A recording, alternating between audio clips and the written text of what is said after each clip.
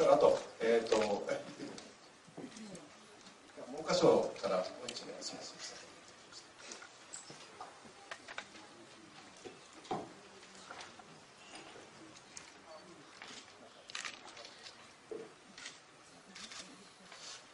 じゃあそれではあの、えー、提出の方お願いいたします。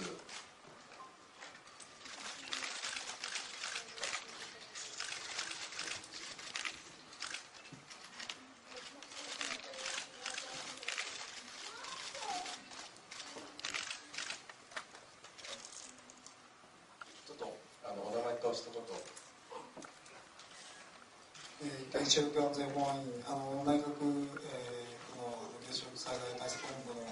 事局におります金山口と申しますが、えー、あの子どもたちのちょっとご意見をですね聞いて、えー、よくいましてちょっと対応を、えー、務めてまいりたいと思います。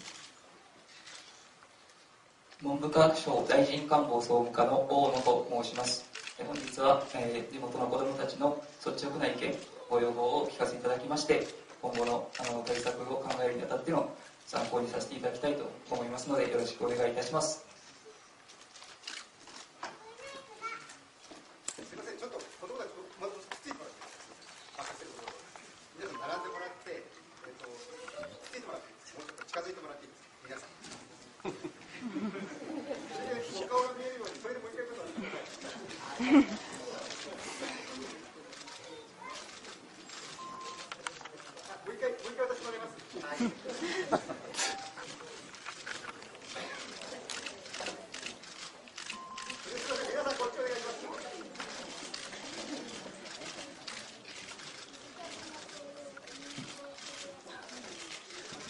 っとそれではあの進行させていただきます。えっ、とじゃあお戻りいただけますでしょうか。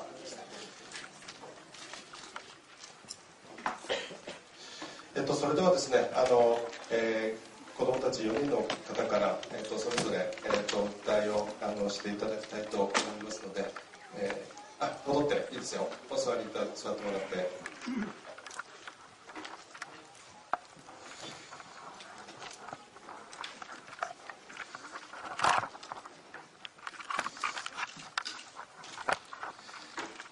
じゃあの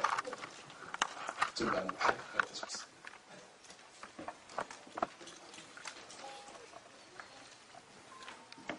官僚の皆さんへ私たち福島の子どもたちは原発事故以来ずっと外遊びしていません早く受診をしてください原発事故で避難する人は学校の友達家などを奪われました。責任を取ってください。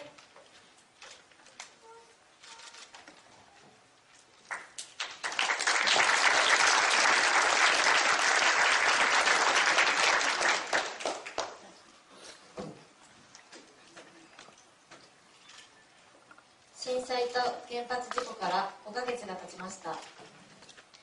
今福島県を離れて暮らす人は何人いるでしょうか？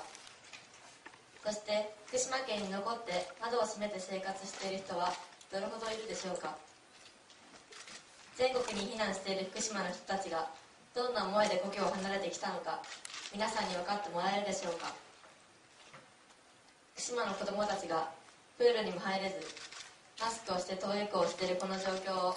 安全だと言い張る政府に私はとても疑問を感じます。今まで法律で決まっていた数値を何十倍にも引き上げて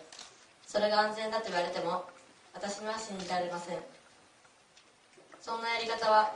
私たち中学生の間でも通用しないでしょう。福島県民よりもお金の方が大切なのですか？大人が勝手に作った原発でなぜ福島の子供たちが被爆しなくてはならないのか？なぜこんな辛い目に遭わなくてはいけないのかこれほどの事故が起きてもどうしてまだ原発再開を目指すのか。私には全く分かりません。このような状況で総理大臣に代わっても良い国が作れるともは思いません。私は6月に転校してとても悲しい思いをしました。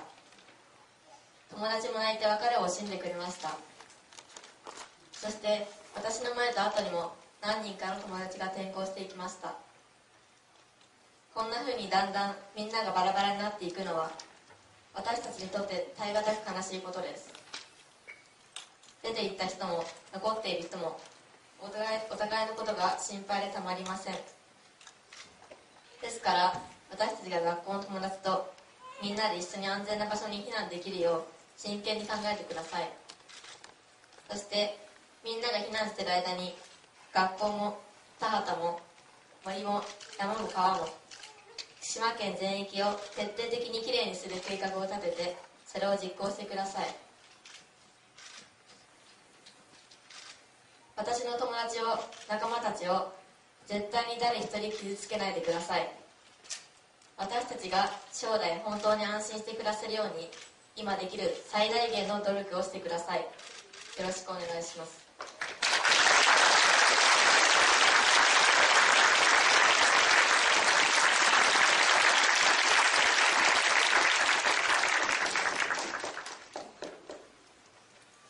今年3年生になって2年生の頃仲が良かった友達が原発で避難しちゃったので少しがっかりしました。それに外でも遊べなくなりました。こんな生活が続くなら福島原子力発電所はなくなった方がいいと思います。